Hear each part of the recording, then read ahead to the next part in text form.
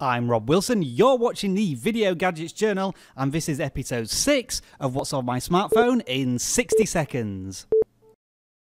Time for more home screen apps, widgets, and personal preferences. As always, app links are in the description. Let's move on to my utility folder. As you can see, it has no label since I know what it is from the icon. And I just want to briefly show you Nova Home Launcher, which includes the desktop custom grid size, which enables me to include so many apps on my home screen. Now I have two file managers on my phone, one called ES File Explorer, which is as comprehensive a file manager as you could ask for, However, the second one is a little more unconventional.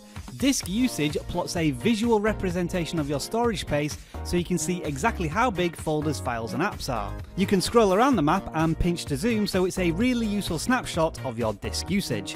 You'd be surprised what files do take up space on your smartphone. And last but not least in my utility folder is Pushbullet.